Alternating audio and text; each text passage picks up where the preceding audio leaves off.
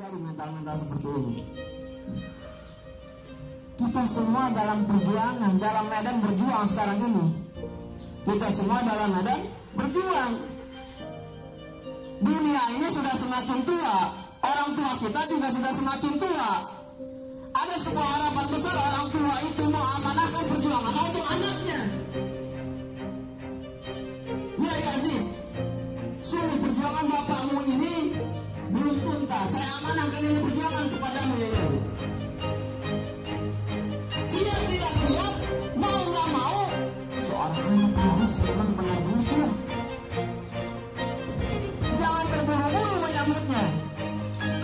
Tapi ketika sudah ada dan sudah waktunya, mau tidak mau harus dipersiapkan. Karena kulukum ra'in wa kulukum mas'ulun an. Setiap kita itu pemimpin.